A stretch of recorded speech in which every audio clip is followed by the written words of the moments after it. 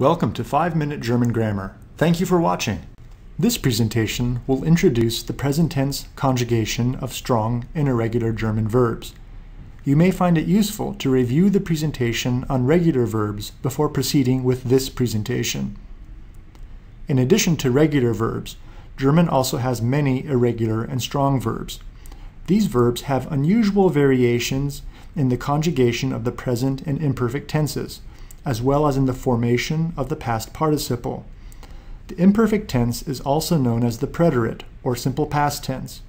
Irregular verbs are sometimes also called mixed verbs. Whatever they are called, you can find lists of these verbs and their four principal parts in your book or on the internet. It is very important to memorize these four principal parts, as they will help you in your future study of German.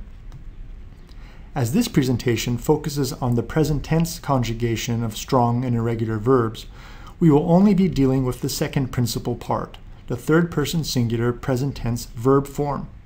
We will look at the other principal parts in future presentations. The second principal part is important as it lets us know that the verb we are conjugating has unpredictable variations in the second and third person singular. This is a typical characteristic of most irregular and strong verbs. For example, you will note that the verb stem for the irregular verb haben, to have, retains the consonant letter B throughout most of the present tense conjugation pattern, with the exception of the second and third person singular, where the consonant is dropped. When dealing with irregular and strong verbs, then, we need to be aware that the second and third person singular conjugations will be different. The sentence sie hat, she has, shows the correct third person conjugation.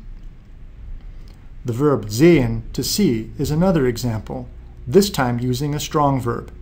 You will note that this conjugation pattern retains all the endings found in the conjugation pattern for regular verbs but that the verb stem in the second and third person singular shows a vowel change from E to the double vowels IE. The sentence sie sieht, she sees, shows the correct third person conjugation.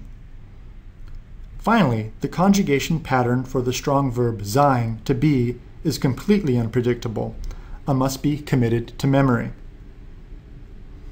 The sentence sie ist, she is, shows the correct third person conjugation. Although it may be difficult to memorize the four principal parts of irregular and strong verbs, with repeated practice you will begin to notice patterns that will help you. The main thing is not to give up and to keep trying. The 5 Minute German Grammar Series is produced by David Neville, Associate Professor of German. The videos, scripts, and lecture slides are released under a Creative Commons Attribution, Non-Commercial, Share Alike 4.0 International License. Don't be a square, remix and share.